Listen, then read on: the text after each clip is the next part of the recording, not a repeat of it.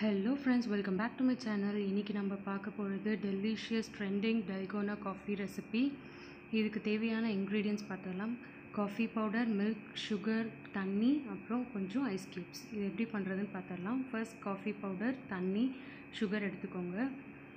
எவ்வளோ குவான்டிட்டி நம்ம coffee powder எடுக்கிறோமோ அதே குவான்டிட்டிக்கு வாட்டரும் சுகரும் ஆட் பண்ணிக்கோங்க. இது நான் வந்து நாலு ஸ்பூன் எடுத்திருக்கேன். அது ஃபர்ஸ்ட் நான் ஒரு பவுலில் போட்டுக்கிறேன். நெக்ஸ்ட் இது கூட வந்து ஒரு ஃபோர் டீஸ்பூன்ஸ் சுகர் ஆட் பண்ணிக்கிறேன்.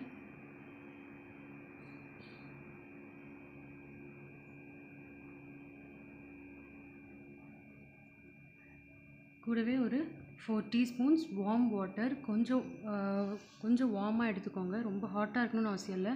வார்மாக எடுத்த வரைக்கும் உங்களுக்கு வந்து இன்னும் நல்லா சீக்கிரமாகவே உங்களுக்கு அந்த க்ரீமி கன்சிஸ்டன்சி கிடைக்கும். ஸோ இதை நல்லா பீட் பண்ணிக்கோங்க. இதுக்கு நான் வந்து விஸ்க் எடுத்துக்கிறேன்.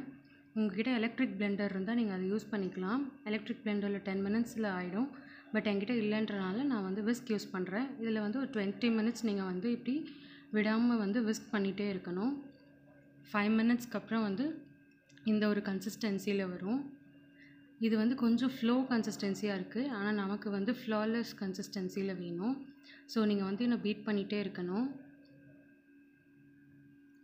இது ஆஃப்டர் ஃபிஃப்டீன் மினிட்ஸ்க்கு அப்புறம் வந்து கொஞ்சம் ஓரளவுக்கு நம்ம பேஸ்ட் கன்சிஸ்டன்சி நமக்கு கிடச்சிருக்கு.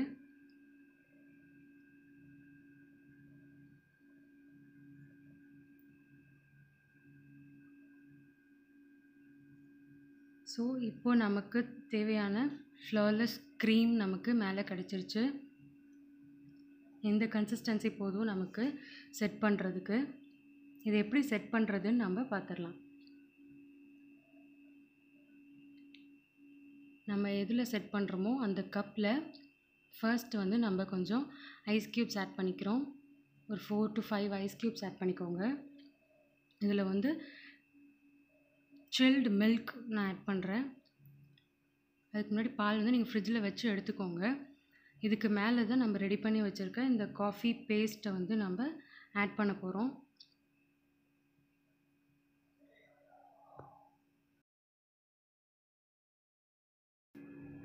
ஸோ இது வந்து ஒரு திக் லேயராக நீங்கள் வந்து இதை மேலே வச்சு டெக்கரேட் பண்ணிக்கலாம். உங்ககிட்ட ஸ்கூப் இருந்துச்சு அப்படின்னா நீங்கள் ஸ்கூப்பிங் பண்ணிக்கலாம் இதில்.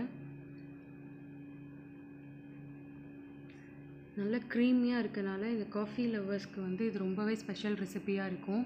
கண்டிப்பாக உங்கள் வீட்டில் ட்ரை பண்ணி பாருங்கள் எப்படி இருந்ததுன்னு கமெண்ட் பாக்ஸில் கமெண்ட் பண்ணுங்கள் இந்த வீடியோ உங்களுக்கு பிடிச்சிருந்தா லைக் பண்ணுங்கள் ஷேர் பண்ணுங்கள் சப்ஸ்கிரைப் பண்ண மறந்துடாதீங்க.